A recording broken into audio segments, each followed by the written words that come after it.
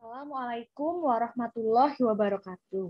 Kembali lagi ya, bertemu lagi kita akan melanjutkan pembelajaran IPA masih di bab yang sama seperti kemarin.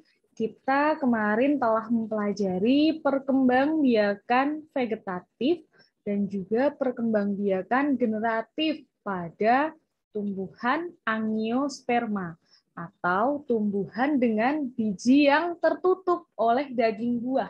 Nah, hari ini kita akan melanjutkan pelajaran kita untuk materi perkembangbiakan pada Pteridopita dan juga Bryopita. Apa itu Pteridopita dan juga Bryopita? Silahkan, mari kita ingat-ingat kembali. Dulu di kelas 7 sudah belajar materi mengenai klasifikasi makhluk hidup.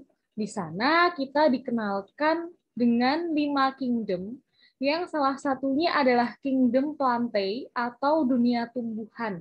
Nah, di kingdom plantae itu dibagi menjadi tiga jenis tumbuhan, yaitu spermatofita atau tumbuhan berbiji, kemudian pteridopita atau tumbuhan paku, dan juga bryopita atau tumbuhan lumut. Nah, hari ini kita akan mengulas mengenai bagaimana paku dan juga lumut itu berkembang biak.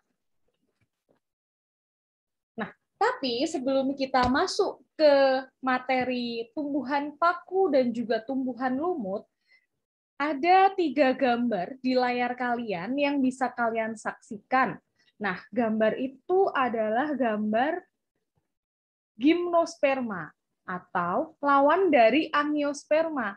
Jika angiosperma adalah tumbuhan yang bijinya tertutup oleh daging buah, maka gimnosperma di sini adalah tumbuhan dengan biji yang terbuka. Contohnya adalah pohon pinus, melinjo, dan juga pakis haji. Lalu pertanyaannya, bagaimana gimnosperma ini berkembang biak? Ternyata gimnosperma ini juga bisa berkembang biak secara generatif atau kawin dan juga vegetatif atau tidak kawin.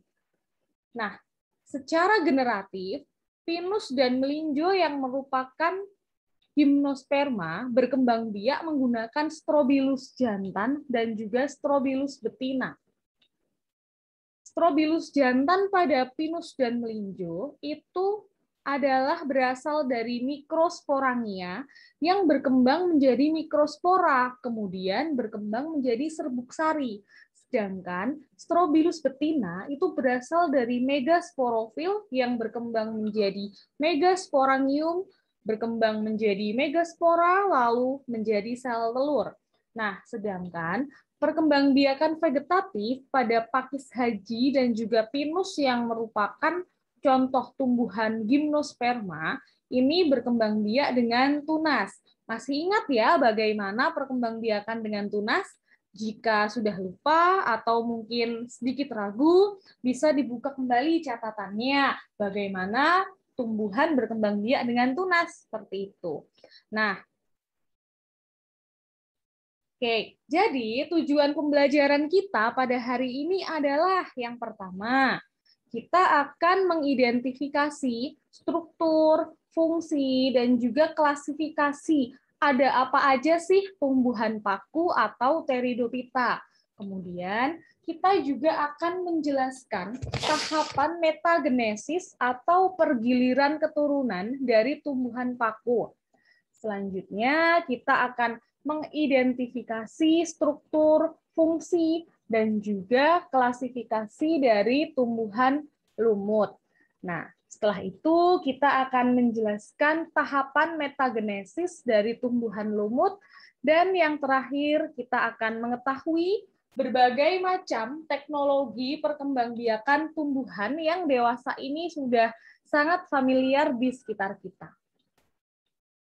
Oke, yang pertama, kita akan masuk ke Pteridopita atau tumbuhan paku. Nah, gambar yang ada di layar kalian itu adalah salah satu contoh tumbuhan paku. Mungkin jika kalian menjumpai tumbuhan tersebut di kebun atau mungkin di pinggir sungai Nah, mungkin kalian hanya akan melihatnya sebagai rumput biasa ya, tapi harapannya setelah kalian belajar materi ini, kalian bisa mengidentifikasi bahwa tumbuhan tersebut adalah tumbuhan paku, bukan lagi menyebutnya sebagai rumput seperti itu. Nah, apa itu tumbuhan paku? Apakah lalu sama dengan paku yang biasa untuk digunakan menempel foto di dinding? Nah, jadi tumbuhan paku di sini adalah tumbuhan yang memiliki pembuluh sejati atau masuk ke dalam trakeopita tumbuhan paku itu juga biasa dikenal sebagai pakis-pakisan atau paku-pakuan. Nah, ternyata tumbuhan paku ini tidak menghasilkan biji untuk berkembang biak. Bahkan, dia masih dapat bertahan hidup meski hanya tersisa tunas saja. Jadi sudah tidak punya batang dan daun, tapi masih bisa hidup. Selanjutnya, tumbuhan paku ini dapat tumbuh subur di daerah tropis atau di daerah Indonesia ini ya, karena di Indonesia ini iklimnya tropis. Jadi tumbuhan paku ini dapat tumbuh subur di sekitar kita. Nah, biasanya kita kan menjumpai tumbuhan paku itu liar ya, karena memang tidak ditanam secara khusus. Biasanya dia ada di dinding atau mungkin di selokan. Tapi ada beberapa jenis paku yang memang itu bagus jadi dijadikan tanaman hias gitu. Nah, kita lanjutkan. Bagaimana sih cirinya tumbuhan paku? Jadi, ciri tumbuhan paku yang pertama adalah dia sudah seperti tumbuhan yang pada umumnya ya, karena tadi kan disebut tumbuhan sejati. Dia memiliki akar, batang, dan juga daun bahkan memiliki berkas pembuluh angkut, yaitu silem dan flom. Masih ingat ya, fungsi silem itu adalah untuk mengangkut air, sedangkan flom itu untuk mengangkut hasil fotosintesis. Ciri yang kedua, paku ini dapat ditemukan di air, di tempat yang lembab, bahkan dia bisa menempel pada tumbuhan lain. Selain itu, paku ini dia mengalami pergiliran keturunan atau yang kita kenal sebagai metagenesis. Nah, tumbuhan paku yang kita lihat sehari-hari yang sudah bisa kita lihat penampakannya itu dia adalah generasi sporofit. Nah, yang keempat, ciri-cirinya paku ini meskipun dia punya akar batang dan daun, paku tidak mempunyai buah dan juga bunga. Lalu, daun yang masih muda di sini dia menggulung. Ada dua jenis daun. Di sini ada sporofil dan juga tropofil. Fungsinya berbeda. Sporofil ini fungsinya menghasilkan spora, sedangkan tropofil ini berguna pada proses fotosintesis. Ciri yang terakhir, tumbuhan paku tidak menghasilkan biji, tetapi menghasilkan spora. Di mana sporanya? Biasanya spora ini kalau kita ambil atau kita petik paku, biasanya di permukaan bawah daunnya itu akan ada kotak-kotak spora yang terkumpul di dalam sorus. Nama lain dari kotak spora itu adalah sporangium. Nah, ini adalah beberapa contoh tumbuhan paku ya. Mungkin kalian juga sudah sering melihat. Ini adalah ciri-ciri atau beberapa jenis tumbuhan paku yang biasa dijadikan tanaman hias. Oke, kita masuk ke struktur fungsi tumbuhan paku. Tumbuhan paku tadi sudah disebutkan bahwa dia memiliki akar, batang, dan juga daun. Yang pertama, akar dari tumbuhan paku ini adalah akar serabut yang ujungnya itu dilindungi oleh kaliptra atau tudung-tudung akar seperti itu. Kemudian, bagaimana dengan batangnya? Ternyata batang dari tumbuhan paku ini jika muncul di atas permukaan, tingginya hanya sekitar setengah meter. Jadi dia bukan merupakan tumbuhan yang tinggi seperti itu. Kemudian daunnya. Daun di sini akan menggulung pada saat usianya masih muda. Nah, daunnya juga dibagi menjadi dua, yaitu makrofil dan mikrofil, berdasarkan ukurannya. Makrofil yang ukurannya besar, sedangkan mikrofil yang ukurannya kecil. Bagaimana klasifikasinya? Jadi ternyata tumbuhan paku ini juga dibagi menjadi beberapa jenis, beberapa klasifikasi. Yang pertama, kita kenal sebagai Silopitinae atau paku purba. Jadi paku purba ini sudah sangat langka sekali, bahkan hampir tidak ada. Cirinya bagaimana? Cirinya itu dia memiliki daun yang kecil, bahkan sering tidak berdaun. Karena di sini dia memang uh, sudah jarang sekali ditemukan ya. Mungkin iklimnya sudah tidak sesuai untuk tumbuh di masa-masa sekarang ini. Yang kedua ada Lycopidinae atau paku kawat. Nah, kalau paku kawat ini masih banyak di sekitar kita ya.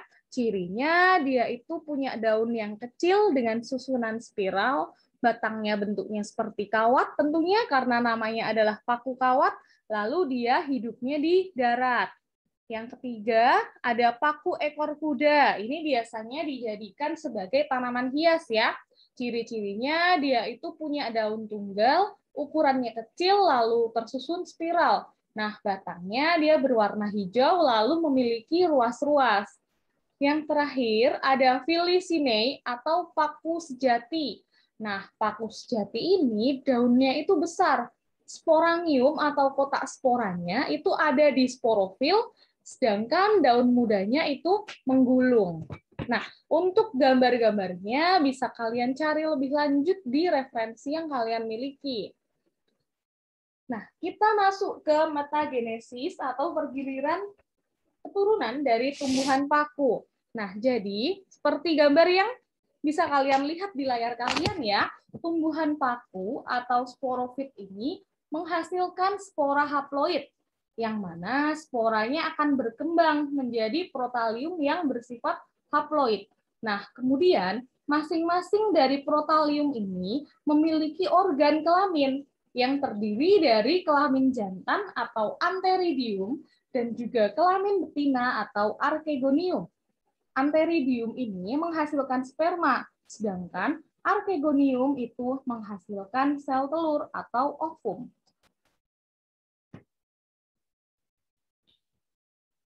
Nah, bagaimana prosesnya?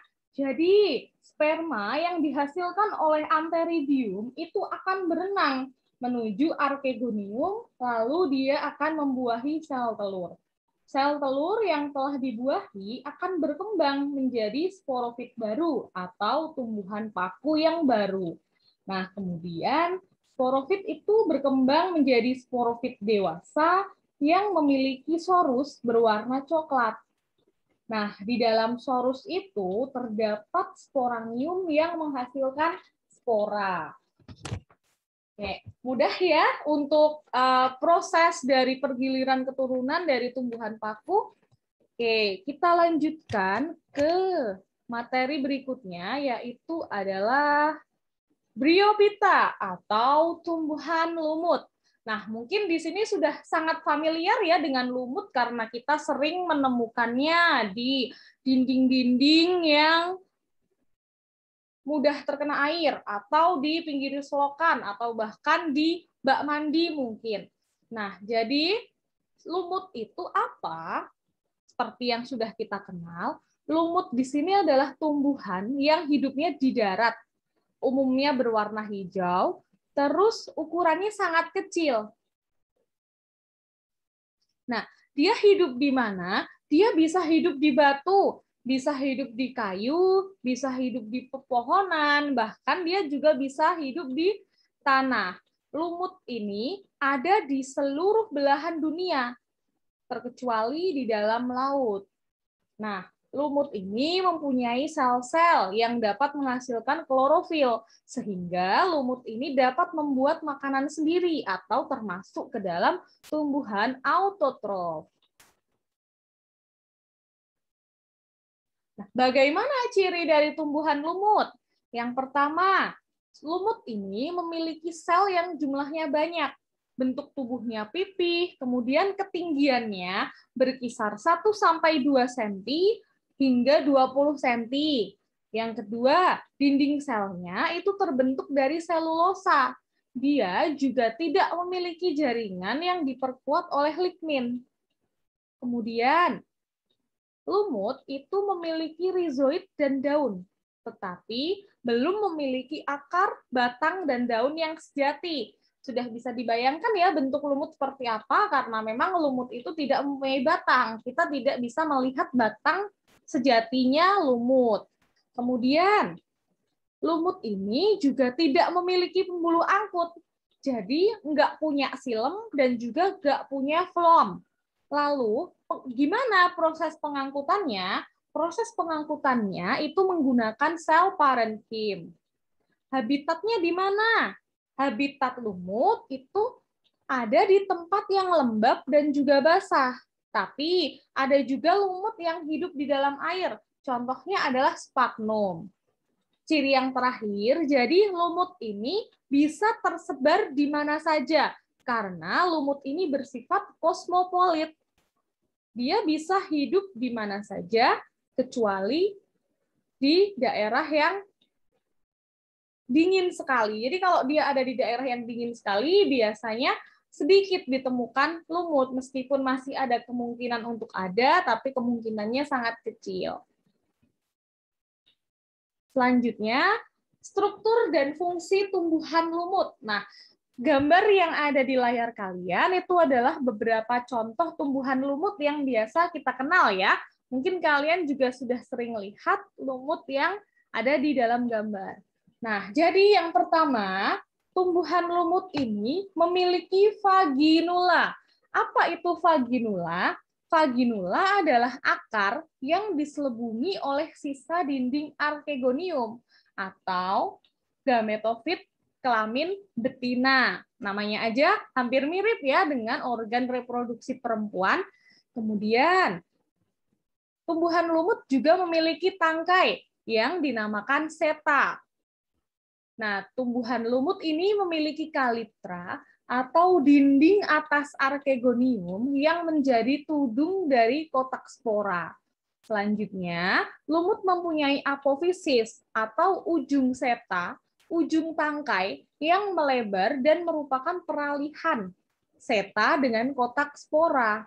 Ciri yang terakhir, lumut ini memiliki kolumera atau jaringan yang tidak ikut serta dalam pembentukan spora sedikit berbeda ya dengan tumbuhan paku yang strukturnya lebih simpel, terdiri dari akar, batang, dan juga daun. Nah, kalau lumut ini dia memiliki kolumera, apofisis, kalitra, seta, dan juga vaginula. Bagaimana klasifikasinya? Klasifikasi tumbuhan lumut ini dibagi menjadi tiga. Yang pertama adalah lumut daun atau bryopsida. Ini sangat banyak ya briopsida ini, dia sering dijumpai di daerah yang lembab. Nah, ciri-cirinya bisa kalian lihat di layar kalian. Kemudian, selain lumut daun atau briopsida, ada juga lumut hati atau hepatikopita. Nah, agak berbeda kalau lumut daun tadi ditemukan di tempat lembab.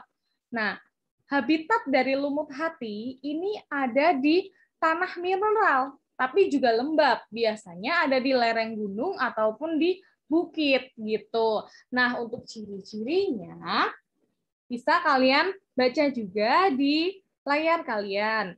Selanjutnya yang terakhir adalah lumut tanduk atau Anthroceropsida. Nah, gimana sih lumut tanduk ini? Lumut tanduk ini strukturnya panjang, runcing, tingginya itu bisa sampai 5 cm. Nah, untuk ciri-cirinya bisa kalian baca di layar kalian. Lalu, kita akan beranjak ke materi selanjutnya, yaitu berkaitan dengan metagenesis atau pergiliran keturunan dari tumbuhan lumut. Kalian sudah bisa lihat ya di layar kalian. Jadi untuk metagenesis tumbuhan lumut ini dibagi langsung tuh dari yang haploid lalu menjadi diploid gitu. Nah, jadi tumbuhan lumut ini membentuk gametofit jantan atau yang namanya anteridium dan juga dia membentuk gametofit betina atau arkegonium. Nah, seperti tumbuhan paku ya, anteridium ini menghasilkan sperma, sedangkan archegonium itu menghasilkan sel telur atau ovum. Sama seperti paku juga, sperma itu akan berenang menuju archegonium, kemudian membuahi sel telur, sehingga terbentuk zigot diploid. Jadi sifatnya 2N ya. Zigot ini tumbuh dan berkembang menjadi sporofit embrionik di dalam archegonium. Sporofitnya tumbuh dan berkembang menjadi sporofit dewasa yang memiliki sporangium atau kotak spora. Nah, sporangium tadi kemudian jika penutupnya itu terbuka, sporanya akan menyebar. Nah, saat sporanya menyebar, dia akan berkecambah membentuk protonema. Nah, kemudian protonema yang sifatnya haploid atau N itu akan terus tumbuh dan juga berkembang hingga menjadi tumbuhan lumut seperti itu. Oke, kita lanjutkan ya. Selanjutnya kita masuk ke materi yang ketiga yaitu berkaitan dengan teknologi perkembangbiakan tumbuhan. Nah, di sini ada dua contoh yang akan saya berikan ya pada kalian. Yang pertama, Nah, tentunya kalian sudah familiar ya dengan teknologi perkembangbiakan pada tumbuhan yang ada di layar. Betul sekali, itu adalah hidroponik. Apa sih hidroponik itu? Hidroponik adalah cara menanam tumbuhan dengan menggunakan larutan nutrisi dan juga mineral. Dia di dalam air ya, jadi tidak menggunakan tanah. Nah, tapi tanaman-tanamannya yang bisa ditanam menggunakan hidroponik ini juga tertentu saja. Contohnya, itu paprika, tomat, timun, terong, selada ya. Jadi, dia bisa ditanam secara langsung di dalam wadah yang isinya nutrisi. Kemudian, selain hidroponik, ada teknik lain. Nah, teknik yang kedua di sini namanya adalah vertikultur. Seperti namanya, verti atau vertikal, itu berarti bertingkat. Vertikultur ini adalah metode budidaya tanaman dengan cara membuat instalasi secara bertingkat atau vertikal dengan tujuan untuk meningkatkan jumlah tanaman jadi, misalnya kalian mempunyai lahan yang terbatas, itu biasanya cocok sekali ditanam atau jika ingin bercocok tanam, kalian bisa menggunakan teknik vertikultur dalam menanam karena teknik ini itu konsep penghijauannya cocok sekali diterapkan di daerah perkotaan atau bahkan di tempat yang memiliki lahan yang terbatas seperti itu. Nah, tidak berhenti sampai di sini, ada juga berbagai teknik yang lain yang tentunya bisa kalian eksplorasi sendiri dengan meningkatkan kebiasaan gemar membaca supaya informasi yang kalian peroleh itu bervariasi. Nah, bagaimana simpulan pelajaran kita? Jadi, yang pertama, metagenesis atau pergiliran keturunan dari tumbuhan paku yang tadi sudah kita bahas bersama-sama, apabila diringkas di dalam bahan, itu bisa kalian lihat di layar kalian. Spora mengalami mitosis membentuk protalus atau protalium, yaitu gametofit yang menjadi archegonium dan juga anteridium. Archegonium atau sel kelamin betina membentuk sel telur, anteridium sel kelamin jantan membentuk spermatozoid yang sifatnya sama-sama haploid atau N. Keduanya jika bertemu akan membentuk zigot yang sifatnya 2N, lalu berkembang menjadi tumbuhan paku atau sporofit yang mempunyai sporangium atau 2N. Kembali lagi ke awal, yang mengeluarkan spora, lalu mengalami pembelahan mitosis, Selanjutnya sampai menjadi tumbuhan paku. Begitu terus-menerus. Bagaimana dengan lumut?